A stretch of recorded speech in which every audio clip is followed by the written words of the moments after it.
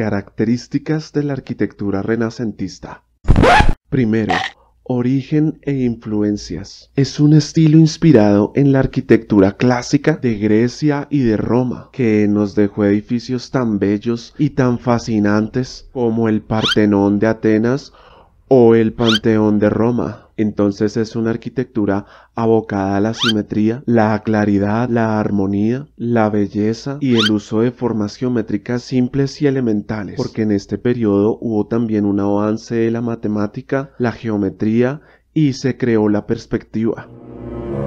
El Renacimiento empezó en Florencia, que es una ciudad en la que el estilo gótico casi no se dio entonces será un buen escenario para la innovación y para el cambio, y es precisamente allí donde se ubica uno de los proyectos más importantes de la arquitectura renacentista, como lo es la Catedral de Nuestra Señora de Fiore.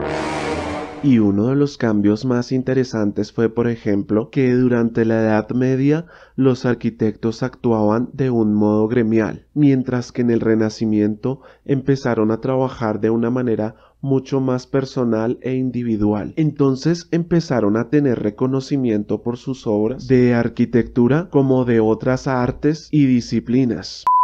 Fue en este periodo precisamente cuando los pintores, por ejemplo, empezaron a firmar sus obras y muchos arquitectos se dedicaron a trabajar en otras artes aparte de la arquitectura, como por ejemplo Francesco di Giorgio Martini, Miguel Ángel, Leonardo da Vinci, Rafael Sanzio o Giulio Romano.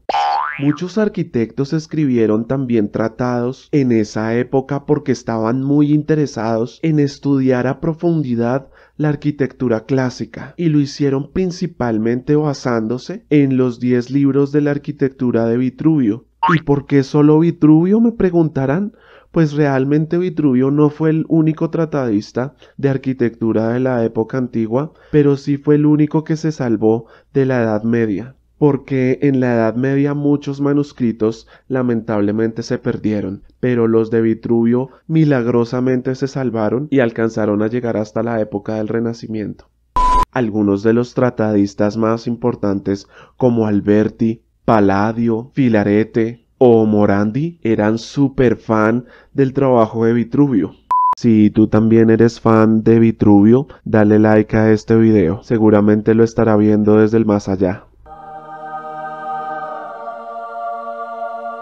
Entonces los arquitectos renacentistas no buscaban construir un simple edificio, sino que intentaban plasmar toda una visión de mundo en la obra que fueran a hacer, así fuera una gran catedral o un simple dibujo. Entonces a este periodo corresponde, por ejemplo, el famosísimo dibujo de Leonardo da Vinci, conocido como el hombre de Vitruvio, que estudiaba las proporciones ideales del ser humano. Y es que en el Renacimiento, por ejemplo, fue muy importante la proporción y la simetría.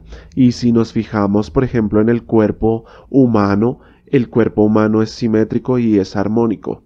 Y ya te digo yo que los arquitectos de este periodo no estaban intentando copiar los edificios de la arquitectura clásica de la antigüedad, sino que buscaban tomar e incorporar los elementos y conceptos más importantes para proponer una nueva arquitectura a partir de allí.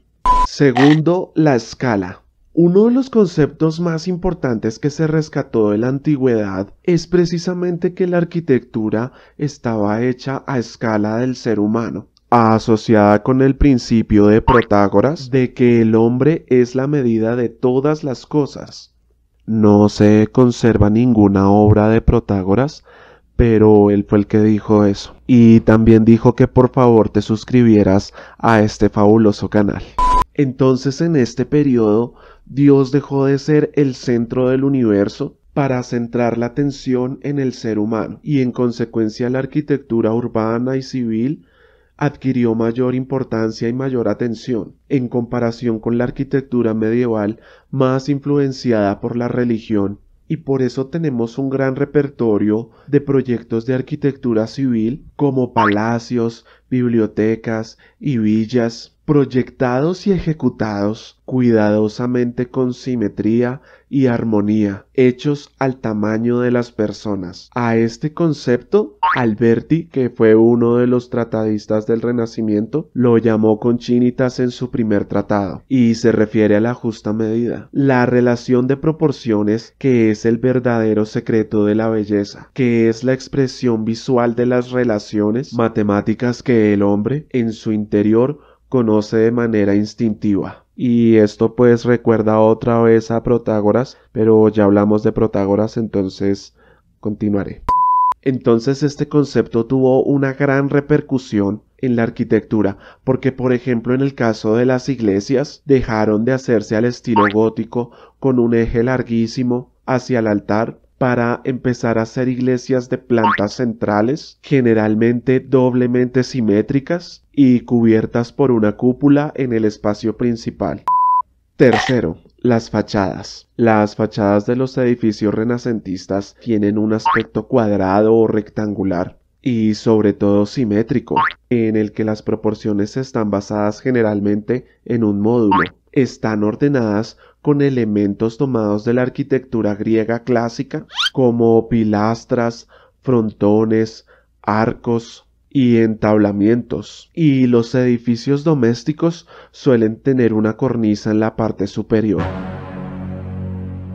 Las ventanas suelen formar un patrón repetitivo en cada uno de los pisos y las puertas de acceso principal están situadas generalmente en el centro acentuadas con algún tipo de elemento decorativo o balcón que le diera jerarquía. Los muros de las fachadas están generalmente construidos con ladrillos recubiertos con piedra a la vista. Lo mismo sucedió muchos siglos después en la arquitectura brutalista y si quieres saber de lo que te estoy hablando, mira este video de aquí. Cuarto, los elementos no estructurales. Generalmente los techos en los interiores suelen ser planos o artesonados, pintados o decorados con frescos, que podían estar también adornando las paredes de los espacios interiores, sobre todo los más importantes, como sucede por ejemplo en la capilla Sixtina que pintó Miguel Ángel, o en ese convento en Milán donde Leonardo da Vinci pintó la Última Cena.